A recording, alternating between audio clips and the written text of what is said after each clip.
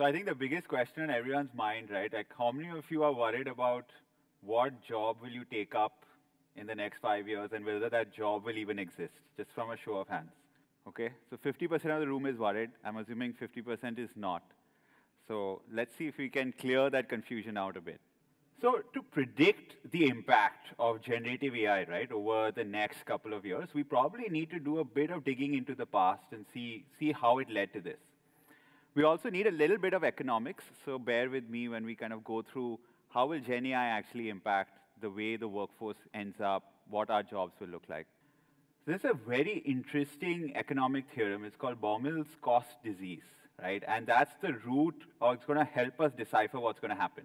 It's actually super interesting. So in 1960, William Baumol was an economist who theorized that productivity gains across different sectors tend to have different impacts from a technology aspect, right? What that means is, um, let me give you an example, right? Because this sounds a little bit of a mouthful. Across different sectors, right? So you take healthcare, you take manufacturing. When tech comes in, there are different productivity gains for different people, right? So here's a, here's a classic example. Right? In the 1800s, if someone was manufacturing pins, so let's call him Bobby, uh, Bobby could do about 100 pins in about a day, right? That's how much he could manufacture kind of use tooling, a little bit of hands. Let's say there's a teacher, Jonathan. He could do about 30 students a day, right? So if he's teaching these students for the entire day, he could safely train about or teach 30 students in a day, right? And then, you know, you had the Industrial Revolution, tech came about. So this same Bobby can now do 10,000 pins in a day, right? Productivity gain of 100x because of machinery, tooling, better technology that's come in. The teacher, Jonathan, on the other hand, still can only teach 30 students a day, right? There's been no productivity gain there because essentially it's a very human art form, right? It can't be replaced by tech that easily. But when you look at that, right, that's an interesting conundrum, right? So imagine, right, my productivity has gone 100x, so naturally my salary is going to go up, right? Because I'm going to give so much more output to the world. But what happens to the human side of things, right? What happens to the teacher, the doctor, the nurse, who are doing things where their productivity is not going up? So Baumol theorized and actually studied and realized that these salaries will also go up. The reason is because if these salaries don't go up, every doctor, every teacher out there will be like, why am I doing this profession, right? If a pin manufacturer, if a shoe manufacturer is earning in a factory 10x more than me, I'll probably do that instead. And you'll have a massive shortage of teachers and doctors. So therefore, both salaries will go up. So I think you can actually feel a little safe and happy that it's not like the human jobs are actually going to suffer just because there's massive productivity somewhere else. It's like a string quartet, right? You can have, it still takes exactly 60 minutes for a performance or a concert. Back from the 1800s right to 2025, right? That's not changed in terms of productivity timeline. Uh, it's gotten a lot, lot more expensive, right? So musician time is valued at a much higher, proving out the theorem exists. Although for some, it also feels a little longer, uh, considering those that don't have the ear for it. So this is the equation, right? You have coders that are now going to get because of Gen AI. Right? Let's apply this to today's day and age, what that's going to look like. Coders are going to go from 1x to 10x productivity, right? We're already seeing that code is being written by AI with humans inter in, like intervening in a bit, in a sense. But they're actually becoming far, far, far more productive, right? Similarly, if you're like a senior lawyer, right, they're going to be able to do research of 10 cases where it used to take them time to do one, right? Figure out the case laws, figure out the argument, read all the documentation that's submitted. So they're going to see a 10x productivity increase. But that's a good thing because their salaries are going to go up, not down, because the value that they bring is going to go up. There's a little bit of a catch to it. I'm going to come to that. But on the other side, when a doctor becomes 1x to 1.5x, right, a surgeon becomes slightly more productive, or a teacher that's using AI to, let's say, grade assignments, she's still going to be most of the time in the class, right? She or he. It's going to be 1x to probably 1.5x they're also going to see that knock-on effect of generative AI, but in a positive sense. Now, one of the things is that, you know, when suddenly you're saying, okay, I'm going to produce a lot more software, right? I'm going to produce a lot more pins. I'm going to produce a lot of more things because technology is enabling me to do it. I'm going to produce a lot more generated images. Doesn't that mean the market will get saturated, right? That's what everyone thinks, right? That if there's a certain amount of work and now there's so much more production, suddenly I'm not going to need a lot of this stuff, right? Like I'm going to need much lesser coders because now each coder is 10x. But that's not true, actually. If you go back in time, right, and you look at a house in the 1900s, Like this is the kind of stuff they had, right? Like a table, a chair. And now you look at a house in 2025 or a house in the 2000s, they have a lot of stuff, right? So automatically we take care of that, right? As our incomes grow and as the availability of things outside are, are much more available or cheaper, we end up consuming a lot more, right? A household which would have maybe two shirts for each member, like, or two dresses for each member, is now having like 10, 20, 30 dresses, right? In, in 2000, where everyone would have just one device, we have like six gadgets for, per person. So that consumption rate automatically escalates as our lives get better. So your lives are going to definitely get better. It's through Say's laws, and it's going to allow you to consume a crazy amounts of stuff and have access to a crazy amount of things. But like I said, there's one little catch to it, right? Mediocrity is going to get punished very, very severely, right? Because, I, like, like you saw in the previous equation, right? A coder has gone from 1x to 10x, right? Productivity. But those are the best coders I'm talking about.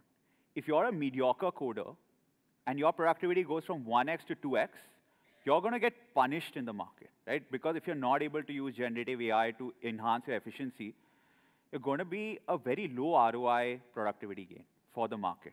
And they're going to punish you, right? You're going to get a lower salary. You're probably not going to get a job. Similarly, for the lawyer example that I gave, right? Today, if a, if a, uh, like if a teacher can still only teach 30 students per day, right? That's like, it's a fundamental law. Like a teacher cannot accelerate her learning towards students, right? It's a human process, the contact process. Some acceleration maybe, but not really. A student, on the other hand, can write one essay a day, right? This was in 2020, uh, on times when I studied. For you guys, the expectation is 10 essays a day, right? Because you can use AI, you can use ChatGPT, you can use Anthropic, you can punch out essays very quickly, right? Maybe your, your school's plagiarism system might not allow it, but internal productivity exists, right, for you to, you to boost. So that's where the expectation levels are going to rise, right? You're going to see that in assignments as well. Suddenly, teachers are going to accept much better quality assignments and a much better quality thought process from students than they ever did before. Because they're like, now you have AI to assist you to do the research, to do the arguments. In our times, it used to be, you know, like writing a, a thesis on math. It used to be a very complicated process because the references weren't there. Now an AI can have a smart interaction with you and give you ideas very, very quickly. So therefore, you have to be very careful of that mediocrity challenge that your jobs are going to be safe, right? There will be coders that are going to deliver. There will be people with human level skills that are going to deliver.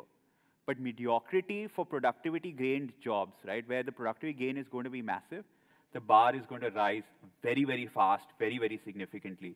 And that's where you need to focus on when you're thinking about your career and your future.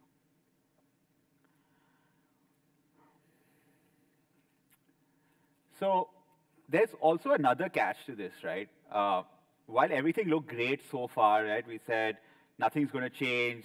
Uh, you know, salaries are going to go up, consumption is going to go up, you're going to get a lot more things. Uh, everyone's fine, both the human-centric jobs plus the productivity gain jobs. There are going to be a few areas where jobs will become obsolete, right? It's always been the case. Someone who would ride a horse, a, a manufacturer, their jobs became obsolete very quickly in the past generation. So let's take a look at what's going to get obsolete in this generation and the next couple of years. So the number one thing, right, uh, we've all seen this with the capability of video models being able to generate such phenomenal quality at scale, right? I'm going to show you a video, um, have a look at it. And when we actually sent out this proposal to shoot an ad like this, we got a quotation of saying that this will take about six months and about 200 to 250,000 dollars to do it. Right? Imagine waiting three to six months and 200 250,000 dollars to do it. Uh, now able to generate something. This is an ad for a generative AI, so you're gonna get a glimpse of what the future holds with this one. So that's what your future is going to look like when it comes to shooting, right? Imagine, right, being able to generate an entire ad with multiple angles, multiple scripts, multiple characters in about four to five hours time. Right? So where the productivity gain or the next best alternative is far, far superior than the existing approach, those are areas which will either get obsolete or will find other forms of requirement, right? So it's kind of like what happened to portraits. Everyone used to get a self-portrait made. Now with the advent of the camera, you could take like a selfie in real time, right, and add filters to it. So that art kind of changed, right? It became more of an art that people long for, but it was no longer a mainstream requirement in the industry that, okay, everyone needs a portrait done. The same thing is going to happen with some of these industries. Another thing that's going to happen, right? So when mediocrity gets punished, there's another great leveler that's going to come as well, right? People who are below the ladder, when they compete with people on top of the ladder, they're going to be able to compete at an equal footing. I'm going to show you an example of this. So we'll try a live demo. Hopefully the internet and everything works out well. But imagine if I'm working in a corporate job, right? And my language skills aren't that great, right? Um, I'm using a project management tool. My boss has come and said, generate this report for me and you know, give it to me now Compare that to maybe a great English-speaking person who knows the project management tools. In this case, we're going to use Jira as an example. And we're going to kind of compare how these two would pan out. Hello? Hello आपसे मिलकर खुशी हुई आप कैसे um, I'm good. Uh, uh, मे, आप मुझे uh, Marathi में बात कर सकते हो मेरी हिंदी इतनी अच्छी नहीं है नक्कीच नक्की कृपया तुमच्या ईमेल आय डी सांगा त्यावर मी अहवाल पाठवेल अच्छा पंजाबी आती है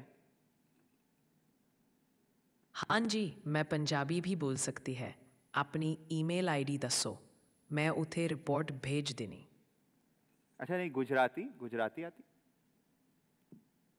હા મને ગુજરાતી આવડે છે તમારો ઈમેલ આઈડી આપો મારે તમને ત્યાં રિપોર્ટ મોકલવો છે अच्छा अच्छा मैं एक्चुअली इंटरनेशनल स्टूडेंट हूँ तो मुझे अब Spanish do you know Spanish yes I do speak Spanish can you speak to me in Spanish ક્લારો and French do you know French yes I Okay, go ahead and say some French to me. D'accord. Pourriez-vous me donner votre adresse électronique pour que je puisse vous envoyer le rapport And uh, someone requested Bengali. So Bengali, can you speak Bengali? যে আমি Continue in Bengali.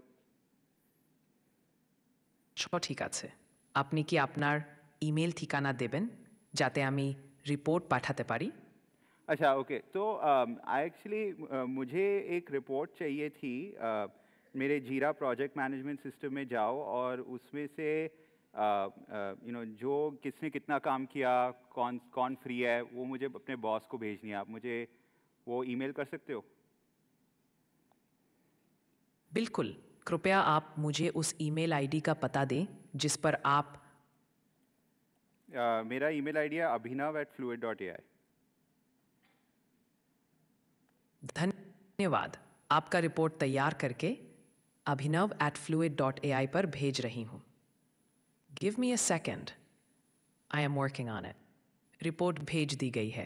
कृपया check करें और अगर कोई thank you so I my report in zero minutes in it's my cut off other she'll keep thanking me she send me my report all my work logs whose work how much whose free this person can be reassigned, this person's free shortly, and I can send this to my boss, right?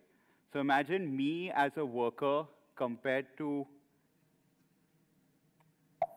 yeah, sorry, I thought it was coming.